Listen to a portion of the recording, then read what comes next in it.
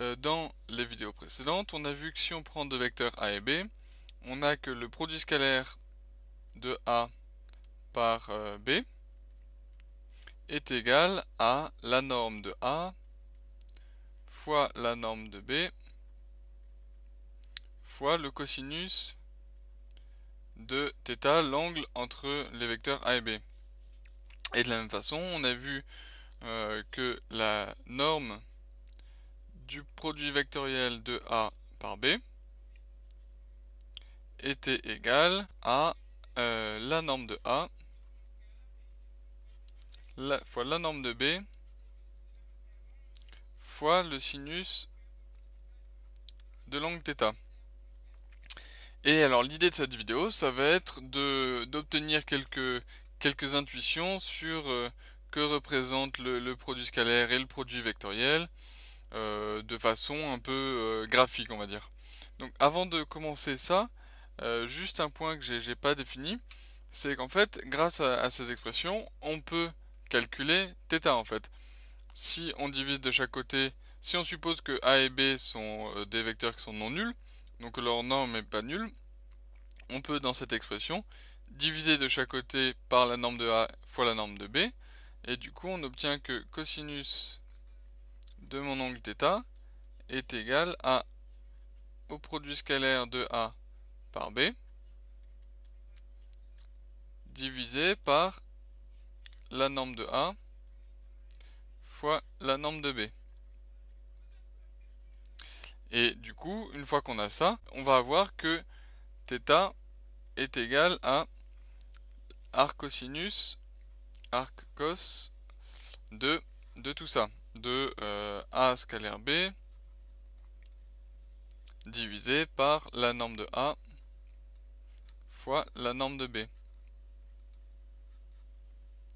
Donc ça, euh, une fois que tu as calculé euh, le produit scalaire de A par B et que tu as divisé par la norme de A fois la norme de B, sur ta calculatrice, tu peux faire l'arcosinus de cette valeur et ça va te donner l'angle θ.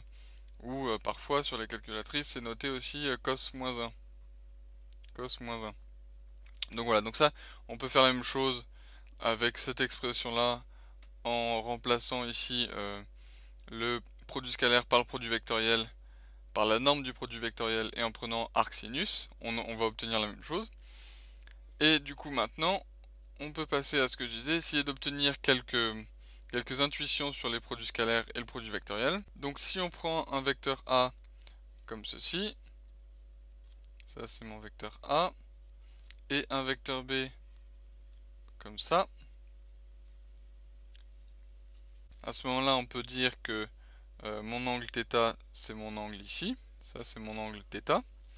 Et du coup, si je reviens à mon produit scalaire, donc je peux le réécrire comme B, la norme de B fois la norme de A cosinus de θ. Et je peux me poser la question, que vaut A la norme de A fois le cosinus de θ? Donc si je reviens ici à mes deux vecteurs, euh, cette longueur ici, c'est la norme de A. Euh, cette longueur ici, c'est la norme de B. Et maintenant, le, cosinus de θ, euh, je sais, donc la, la, formule très connue SOHCAHTOA, donc SOHCAHTOA, me dit que le cosinus, c'est le côté adjacent sur l'hypoténuse. Donc le cosinus, c'est égal au côté adjacent sur euh, l'hypoténuse. Et ici, si on retourne dans notre, euh, triangle avec nos deux vecteurs ici, on peut prendre ici la perpendiculaire qui tombe sur le vecteur B. Donc là, on a un angle droit. Et si on se place dans ce triangle, on a ici ce que que je, mets en vert ici, c'est mon côté adjacent. Ça, c'est le côté adjacent.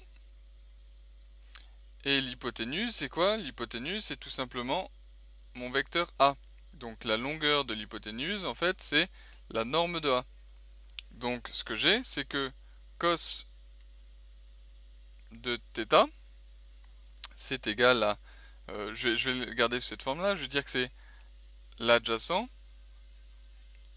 divisé par l'hypoténuse qui est la norme de A. Et du coup, si je multiplie de chaque côté par la norme de A, j'ai que A cos θ c'est égal à mon côté adjacent. Donc ici, je peux dire que A cos c'est mon côté adjacent. Ça veut dire que je peux réécrire A scalaire B. Je peux dire que c'est égal à la norme de B fois le côté adjacent. Je vais l'écrire en violet fois mon côté adjacent. Et ça, ça veut dire qu'en fait, A scalaire B, c'est égal à la longueur de B fois la longueur de A qui suit la direction de B. C'est en fait, si on regarde ça, on peut voir comme euh, si on avait de la lumière qui venait par en haut comme ça, perpendiculairement à B. Ce côté adjacent, ce serait la, la, taille de l'ombre de A, en fait. On peut, on peut l'appeler de, façon plus mathématique, on appelle ça la projection de A. Donc si tu as déjà vu la projection, ça te parlera peut-être de, si on parle de projection de A sur B. Donc si on, si on réécrit ce qu'on disait ici, ce que ça veut dire tout ça, c'est que le produit scalaire, le produit scalaire, ça correspond à quoi? Ça correspond finalement au, produit de la, de la longueur des vecteurs. Donc de la longueur, je mets entre crochets hein, parce que c'est ce qu'on appelle la, norme, de la longueur des vecteurs.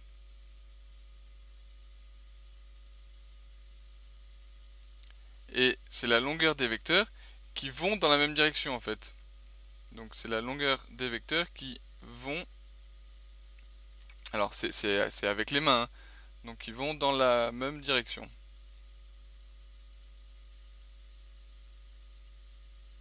Dans la même direction. Donc c'est pas très mathématique de dire ça, mais ça donne une bonne idée de ce que représente finalement le produit scalaire.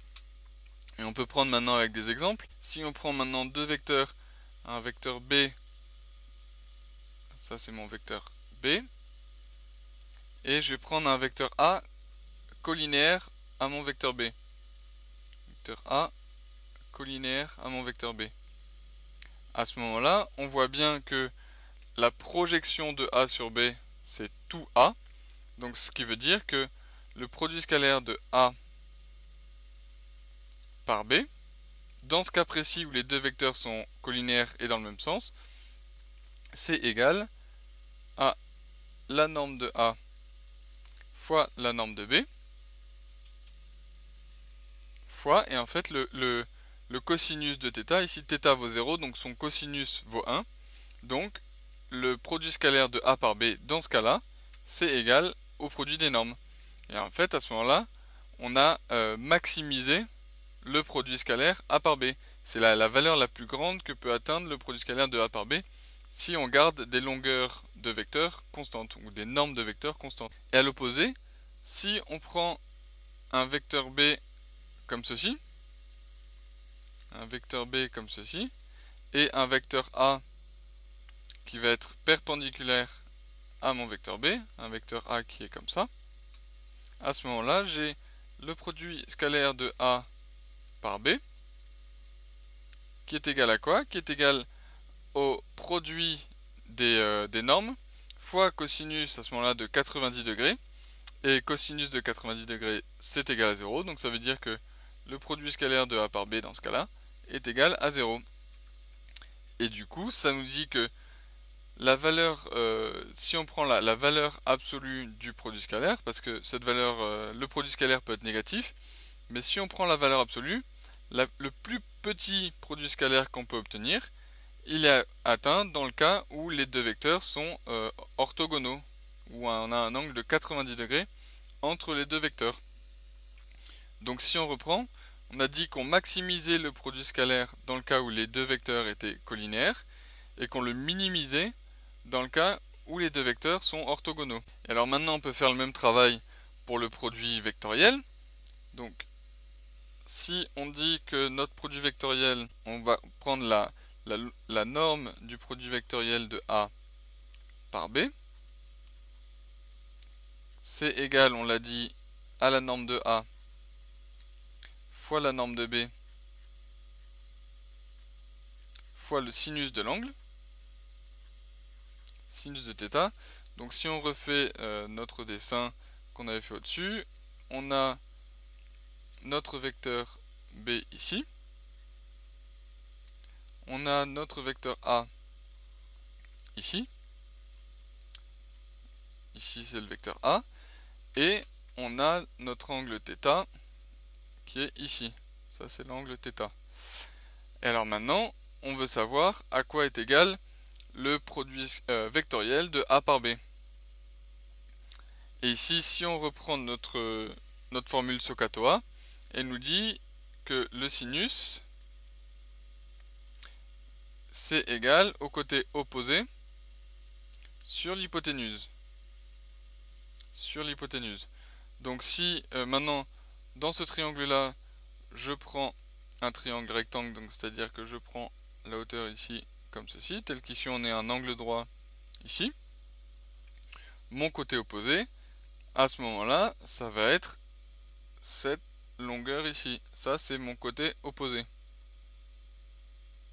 par rapport à l'angle θ. Ça veut dire que le sinus de mon angle θ, il est égal à quoi? Il est égal au côté opposé sur l'hypoténuse. Et l'hypoténuse, elle vaut quoi? L'hypoténuse, c'est cette longueur-là. Donc en fait, l'hypoténuse, c'est la norme de A. Donc sinus de θ, c'est le côté opposé sur la norme de A. Donc je peux multiplier de chaque côté par euh, la norme de A. Donc j'obtiens que A, A sinus θ, c'est égal au côté opposé. Donc maintenant, je peux reprendre la norme de mon produit vectoriel. J'ai que la norme du produit vectoriel de A par B, c'est égal à, donc si je fais passer B euh, devant, c'est égal à B, la norme de B fois la norme de A fois sinus. Et ici, qu'est-ce que je reconnais? Je reconnais mon côté opposé. Donc de la même façon que j'avais obtenu ici que le, produit scalaire c'était la norme de B fois le côté adjacent, ici j'obtiens que la norme du produit vectoriel c'est la norme de B fois le côté opposé cette fois-ci. Et du coup je peux reprendre mes exemples pour A et B. Donc si je prends encore une fois un vecteur B comme ceci, ça c'est mon vecteur B, et un vecteur A mon vecteur A collinaire à B comme ceci. Ça, c'est mon vecteur A. Ici, on voit que le, côté opposé, ici, il est nul. Et pourquoi? Parce qu'en fait, le, le sinus, on voit que c'est comme si on avait pris ces deux vecteurs et qu'on avait rapproché A de B vers ici. Donc, θ se rapproche de 0. Donc, en fait, le sinus de θ se rapproche de sinus de 0, qui vaut 0. Donc, ici, on peut dire que la norme du produit vectoriel de A par B, c'est égal, dans ce cas-là, dans le cas où les deux vecteurs sont collinaires, c'est égal à 0. Donc le cas des vecteurs collinaires, c'est un cas où on minimise la norme du produit vectoriel. Et de la même façon, si on reprend comme avant le cas où les deux vecteurs sont perpendiculaires, donc ici j'ai mon vecteur B et je vais prendre un vecteur A qui est perpendiculaire, donc un vecteur A comme ceci. Ça c'est mon vecteur A. Les deux sont perpendiculaires. À ce moment-là, j'ai que mon θ il vaut 90 degrés. Et du coup, sinus, de 90 degrés, ça vaut 1. Donc ça veut dire que la norme du produit vectoriel de A par B, dans ce cas-là, c'est égal à la norme de B fois la norme de A fois mon sinus de θ qui vaut 1. Donc dans le cas où les vecteurs sont perpendiculaires, j'ai maximisé le, la norme du produit vectoriel. Ce qui veut dire que dans le cas où les vecteurs sont collinéaires, je maximise le produit scalaire et je minimise le produit vectoriel. Et dans le cas où les vecteurs sont perpendiculaires, je maximise le produit vectoriel ou la norme du produit vectoriel et je minimise le produit scalaire. Alors je vais prendre juste un dernier exemple pour, pour bien euh, montrer à quoi ça correspond le produit vectoriel. Si je prends, je reprends mes vecteurs, euh, un vecteur B comme ceci et un vecteur A comme ceci. Et je m'intéresse au parallélogramme euh, comme ceci. Donc là j'ai mis A ici et ici j'ai B. Donc je m'intéresse à l'air en fait de ce parallélogramme. Donc à cette aire ici en jaune. Et alors en géométrie, comment est-ce que je calculerai cette aire ben, Je prends ici la hauteur ici. Je prends du coup avec quelque chose qui tombe à 90 degrés. Ça, je vais l'appeler la hauteur, la hauteur h.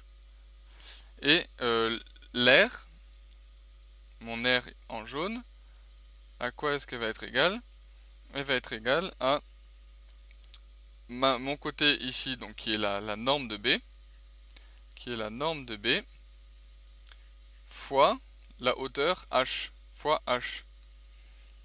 Et en fait, ce qu'on a, c'est que si ici j'ai mon angle θ entre A et B, ici j'ai mon angle θ, j'ai sin θ, sinus de θ, c'est égal au côté opposé, donc c'est h, sur le côté sur l'hypoténuse, pardon, et l'hypoténuse c'est la norme de A. Donc c'est h sur la norme de A. Du coup, si je multiplie par euh, A de chaque côté, j'ai que H, c'est A, la norme de A fois sinus θ. Donc ici, je peux remplacer.